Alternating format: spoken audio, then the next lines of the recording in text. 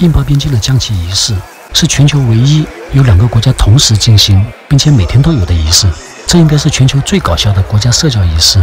在正式开始之前，不断有人从巴基斯坦那边大包小包的过境印度，现场也有很多卖爆米花、卖小吃的人。我也买了个冰淇淋，价格挺公道的，不宰游客。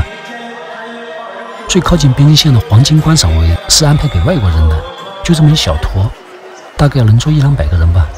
那一大片全是印度人。现在灵魂人物出场了，他可不只是骑手，更是一个优秀的现场 DJ。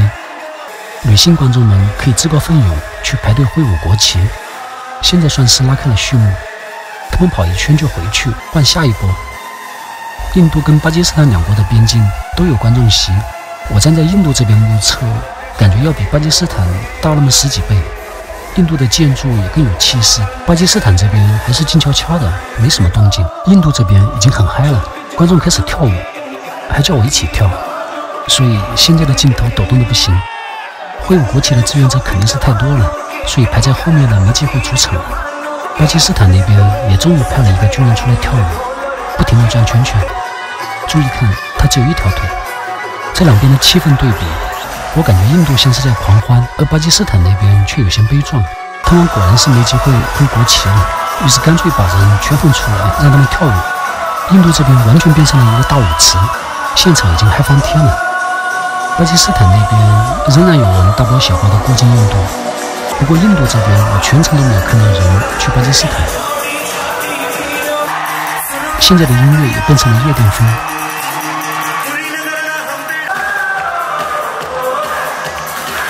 这位身穿国旗绿服装的独腿军人换着场地表演，继续卖力地转圈圈。说真的，一条腿这么不停地转，难度应该很大的。因为印度与巴基斯坦两国的关系非常微妙，所以边境线每天下午五点钟的降旗仪式已经发展成了一个著名的搞笑旅游景点。就我个人的感受，像是参加了一场音乐节。男女军人挥舞着国旗出场。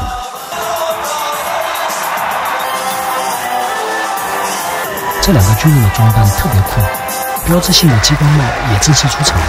他们的军装看起来也不怎么正经，再配上这么滑稽夸张的激光帽，整个仪式欢乐极了。DJ 正在搞活气氛，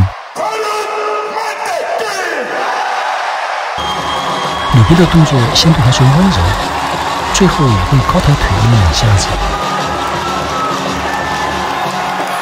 两国的边防军人开始卖力的进行高抬腿比赛。男兵的动作还是显得更雄壮一些。注意看对面的巴基斯坦，这两边的舞蹈配合完成度实在太高了，集体操练还是很有气势的。他们的表演带有强烈的风格化，从形式到肢体动作，再到眼神，两边都是一脸严肃。舞蹈一样的仪式动作，浮夸滑稽，但又不失严肃紧张，也就更显得搞笑。双方士兵粗鲁的握手。他们有没有互相掐对方，我就不知道了。一言不合就跳舞，这很印度吧？